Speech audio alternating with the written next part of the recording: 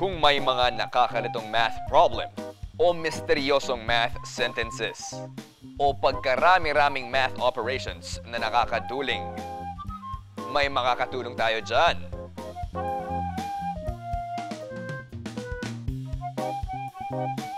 Girls?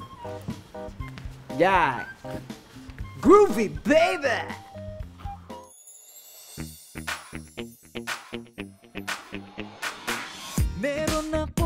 Kaibigan pagharap ko sa mundo. Pagsagot sa tanong, ilan, ano, alin,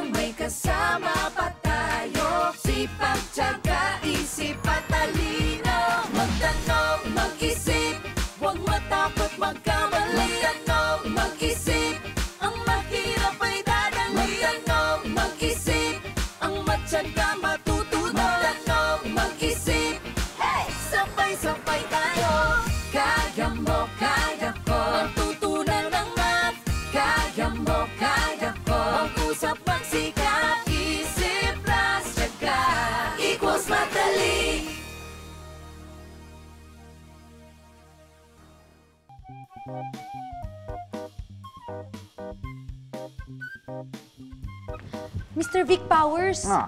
pwede mo ba kaming tulungan isolve ang problemang ito? Yes, of course, little darling. Pero sa isang kondisyon, Ano yun, Mr. Vic Powers? tutulungan ko kayong pag-isipan ng solusyon. Pero hindi ko ibibigay ang sagot. Sa totoo lang, kayang-kaya nyo yan eh. Kung tsatsagain yung pag-isipan. Truly, Mr. Vic Powers. True, Lily. Approve! oh, ano nga ulit yung math problem natin? Ano po ang susunod sa mga ito? Hmm. Nakikita nyo ba yung mga objects? Anong napapansin nyo? May nagbabago ba? O may hindi nagbago? Paano nagbago? Hmm. Nakikita nyo ba ang nakikita ko? Nakikita ko, yung flower hindi nagbago. Pero yung dove, nadadagdagan ng isa. Hmm, tama. Math dali lang, di ba? Oh, may sagot na tayo doon sa math problem.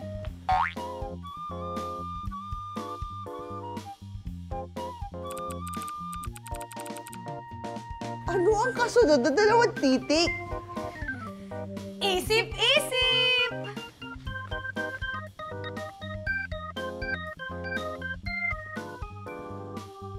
May dalawang letters sa pagitan ng bawat letter.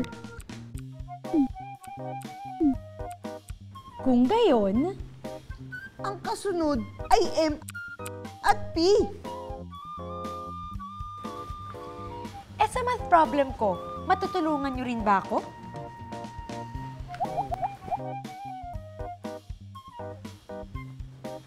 Matutulungan niyo rin ba kami isipin kung ano ang mga nawawalang numbers?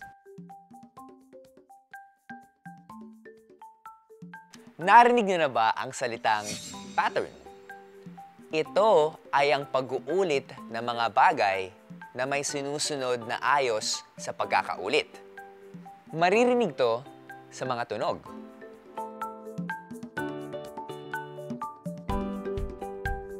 Makikita ito sa mga hugis.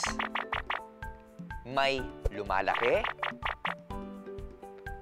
may lumiliit, may pareho lang. May pabago-bago na medyo komplikado.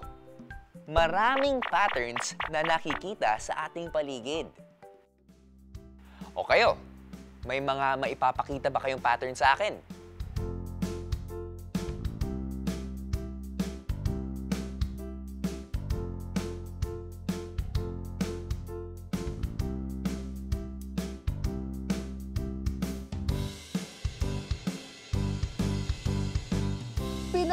Pinag-aralan namin ang mga numbers na ito.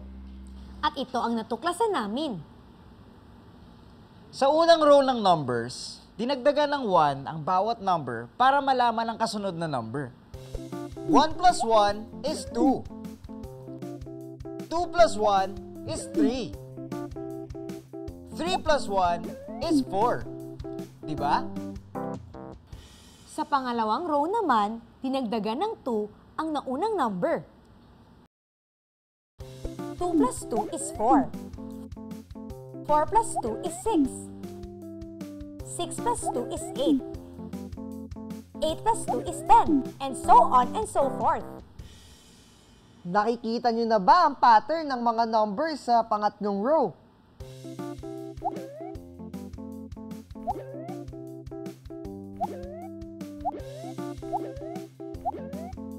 sa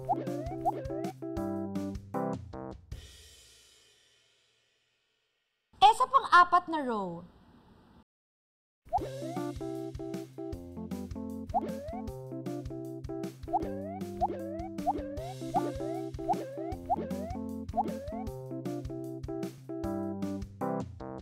Matdali! Masasabi niyo ba kung ano ang mga nawawalang numbers?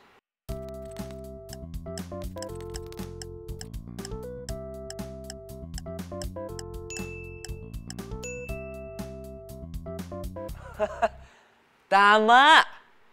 Pero bakit?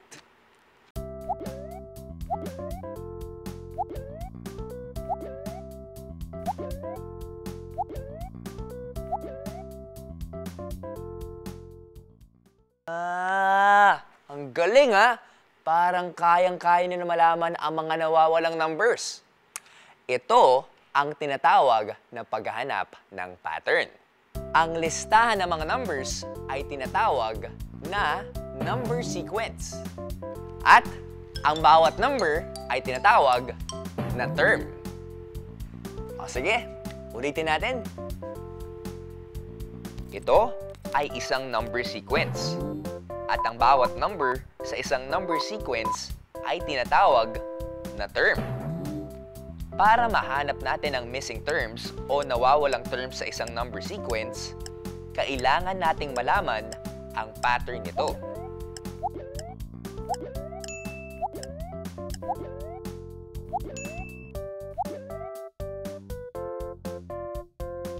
Madali!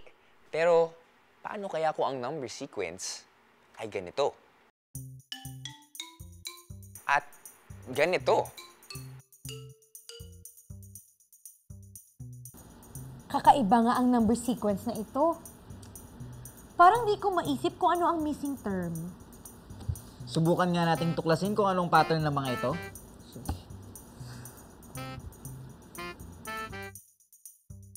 Ilan ang kailangan nating i-add sa 4 para maging 12? 8! Aha! Baka kailangan mag-add ng 8 para makuha ang kasunod na term. 12 plus 8 is... 20? Hindi 20 ang kasunod na term. Eh ano?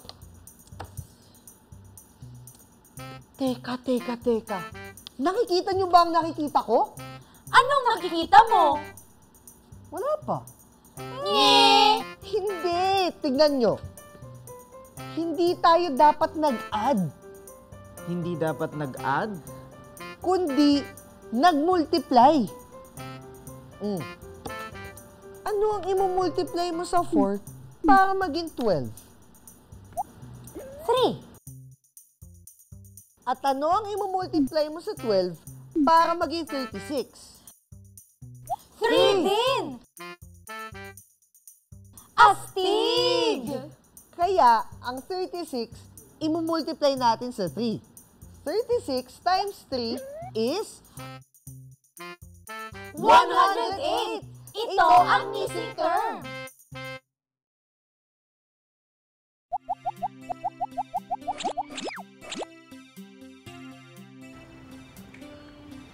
Alamin nga natin ang pattern sa mga numbers na ito. Hmm, lumiliit ang numbers. Baka nagsosubtract. Ano ang isasubtract sa 32 para maging 16? 16. Gamitin nga natin sa 16. 16 minus 16 is... Hindi 8. Ano kaya ang ginawa sa number sequence na to? Nakikita nyo ba kung anong nakikita ko? Parang hinati ang bilang ng mga diamonds. Tama! 32 divided by 2, 16. At 16 divided by 2, 8! Sa 2, ang missing term ay 4. Tama! Ang pattern sa number sequence ay maaaring gawin hindi lang gamit ang addition, kundi pati ang subtraction, multiplication, division, o ang mga kombinasyon nito. Oh guys, ano kaya ang mga missing terms sa number sequence na ito?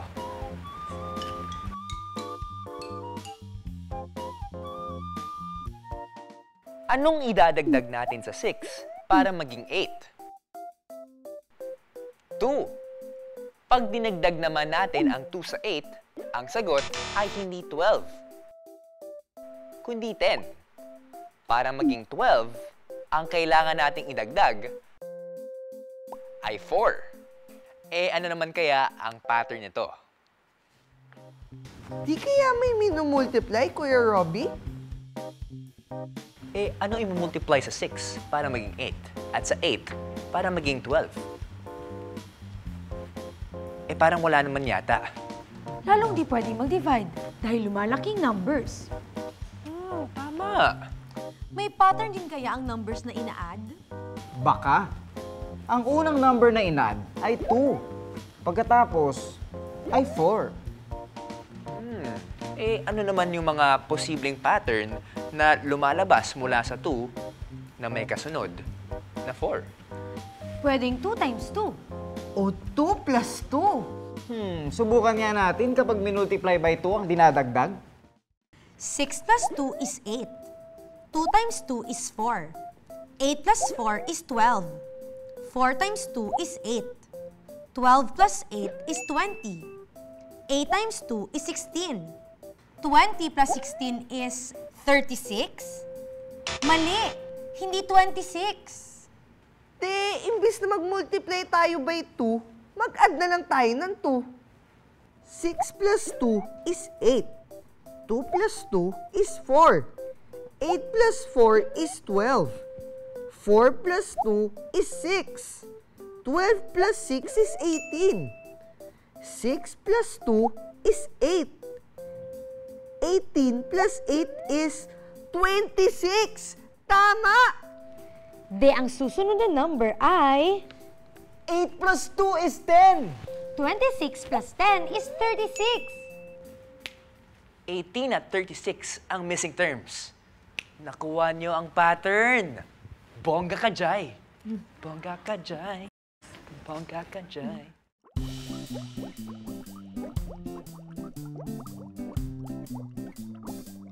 Ang sarap talagang sumisid sa dagat, Iggy Boy!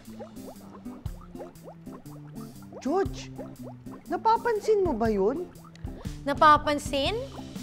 Ayun oh. Mga seahorse!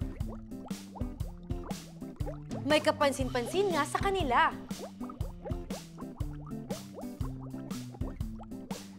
Napapansin niyo rin ba? Doon po sa pattern ng mga seahorse, yung malaki pong seahorse, nadadagdagan po ng nadadagdagan ng isa. At doon naman po sa maliliit na seahorse ay nadadagdagan po ng nadadagdagan ng dalawa. Napapansin nyo rin ba ang pattern sa bilang ng mga seahorse na ito? 1, sinusundan ng 2. Tapos, 2, 4, 3, 6, 4, 8, 5, tapos 10? Bakit kaya ganito ang ayos nito? Tingnan nga nating mabuti. May napapansin ako. May mga number na sunod-sunod. 1, 2, 3, 4, 5. Pattern na kaya ito? Ang naunang number ay dinadagdagan ng isa para makuha ang kasunod na number. May pattern nga. Ano naman kaya ang pattern sa mga numbers sa pagitan nila? May napapansin ba kayo sa mga ito? Tama! Ang bawat number ay dinadagdagan ng 2 para makuha ang kasunod na number. Ang unang linya ay ang mga numbers na dinadagdagan ng 1. Ang kasunod na linya ay mga numbers na dinadagdagan ng 2. Tapos, ay pinagsasalit-salit sila. Yan ang kanilang pattern. May isang pattern pa, Kuya Robby. Talaga? Kung titignan natin na pares-pares ang mga numbers, ang pangalawang number ay nakuha natin sa pamamagitan ng pag-multiply ng 2. Oo nga, no? Ang galing! Let's play Number Patterns. Sa larong ito, aalamin natin ang missing number to complete the number pattern. Ano ang missing number sa pattern na ito? 54, 18, o 27? 18? Correct! Eh dito naman, 7, 14, 21, blank, 35. Ang missing term ba ay 28, 42, o 21? Hmm, 28? Tama! Eh, dito kaya? 10, 5, o 15? Hmm. Hmm. 15. Ang galing! 13, 26, blank, 52, 65. Ano ang missing number? Ang sagot? 35? Ah, mali! 13 naging 26, nadagdagan ng 13. 26, dagdagan ng 13. 39, correct!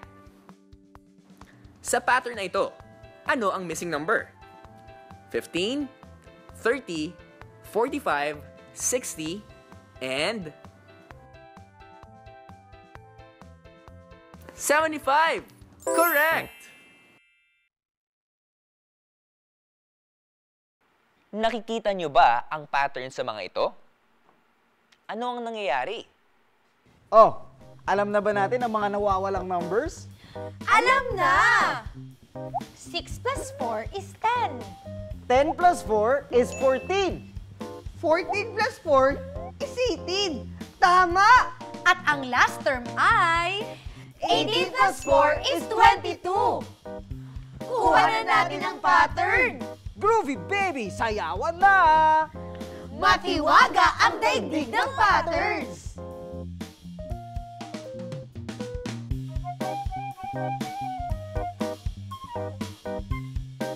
Meron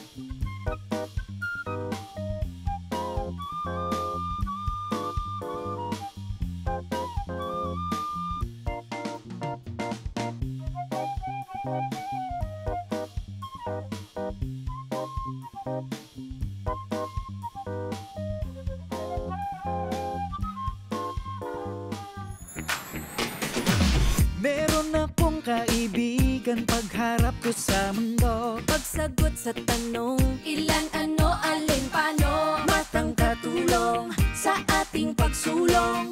Paglikha't pag-unawa